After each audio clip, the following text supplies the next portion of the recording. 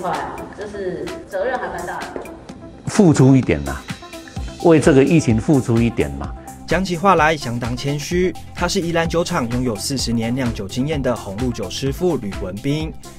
今年二月，国内武汉肺炎疫情大爆发，酒精成为全民重要的防疫物资。成立逾百年的宜兰酒厂也受到政府指令，放下金鸡母红露酒，改投入生产酒精。为了全民健康，酒厂师傅每天没日没夜加班赶制，吕文斌正是其中一位。而且这也是他四十年酿酒生涯第一次投入生产防疫酒精。防疫酒精从二月份的时候，总公司那边就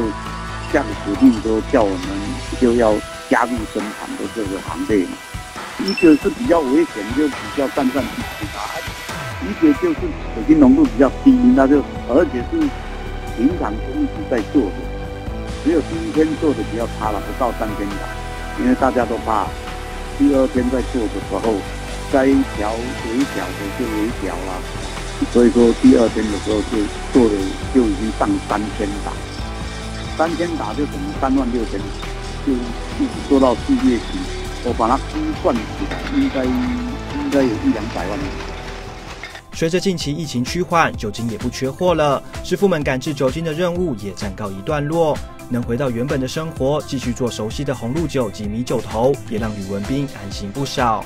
最好是不要怀念，最好是不要再有。最好是疫情就像终止，否则的话，真的台湾就完蛋。我们的农民哈也受我们这个连死了哈，他就一直连都要吃。尽管吕文斌觉得自己只是尽一份微薄之力来帮助国家，不过在大家眼里，他就是名副其实的防疫英雄。我到到台中去嘛，我就跑到台中，啊，那个因为都常常去的老顾客，那个老板看到的啊。